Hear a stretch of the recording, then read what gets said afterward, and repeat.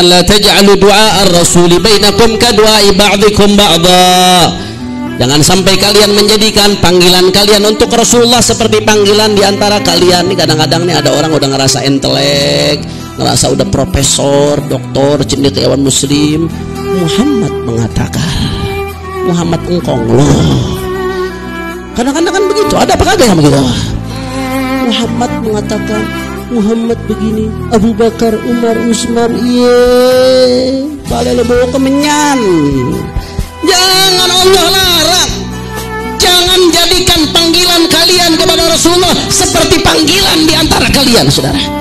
Hormati Rasulullah. Agungkan Rasulullah